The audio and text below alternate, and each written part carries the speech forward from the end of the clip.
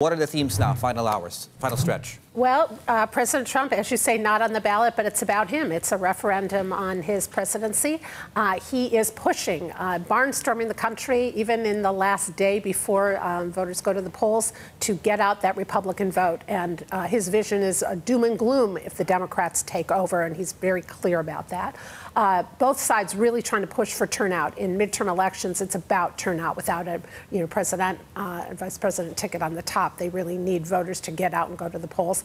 Uh, also, one interesting fact: this uh, these ads uh, were pulled by Facebook and, uh, and NBC and Fox uh, about the migrant caravan after critics claimed that they were somewhat racist. So, um, so, so, there are a few ads that are not out there, but the ads are fast and furious. Uh, you know, in the final day, everybody's spending their last dime to try to get people to the polls. And I know the last couple of years we haven't been able to trust the polls too much, but, but what are they indicating right now in terms of what outcomes we should expect?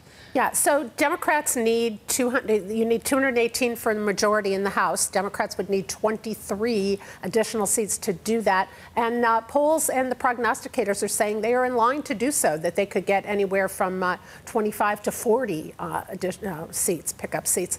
In the Senate, it really looks like it, um, barring a big surprise, that the Senate will continue to be in Republican hands. Uh, they control the Senate now 51 to 49.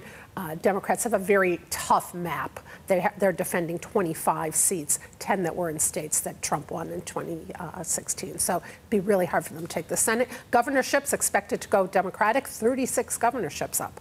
Uh, less, less, uh, you know, attention to those uh, in coming in the coming the weeks before. But um, that's important as well for all kinds of reasons. The the unseen outcome of well, well, the House is expected to be taken by the Dems. Um, if the Senate is taken, just a theoretical scenario there. What does that mean for foreign policy and trade in particular for Donald Trump? Can that actually derail or stymie um, Trump's trade policy? Good question, but not really. Uh, the president has wide latitude in foreign policy and, and, trade policy as well.